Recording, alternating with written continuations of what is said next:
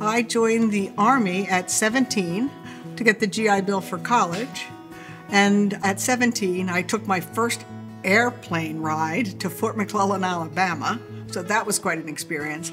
And I wore pumps, spectator pumps, and a beautiful dress.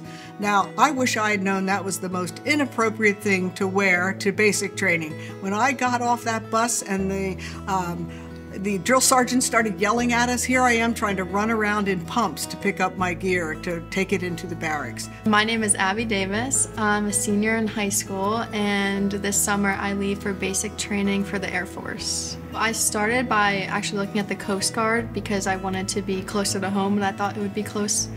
But um, I went on the Air Force website and I put in my information and like literally the next day my recruiter reached out to me. With him he was very open and honest and told me everything that would be happening. And then I think within five months I signed off to be leaving the, um, this year and to start my journey in the Air Force.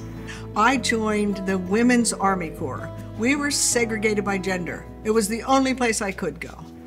And it was in 1976 that we integrated the Army and actually all the services into um, mixed gender units. You can imagine that was quite an interesting journey to be the first woman in a unit and the only woman very often. The women in the military still make up only 8% of the Marines, 16% of the Army, and 19% of the Air Force.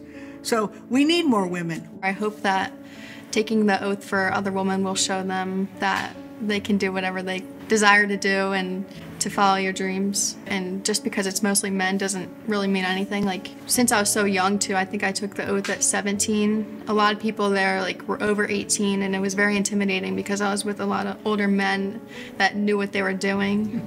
It just felt good like knowing that I did it as a 17 year old going through this process. And I hope like it inspires other people that you can do it and to not let other people take you down.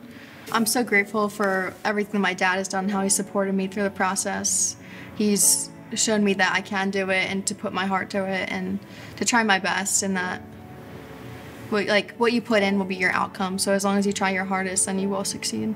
One thing I did understand and live by, even at the age of 17, is to always be prepared for the next opportunity.